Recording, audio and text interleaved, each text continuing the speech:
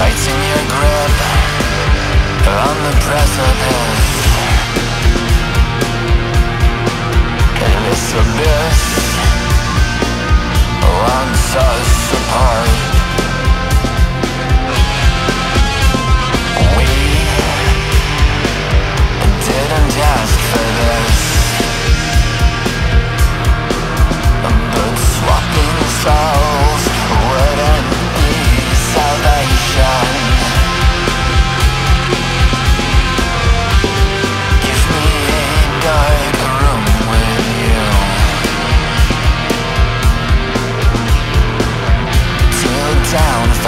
flesh than the king-sized man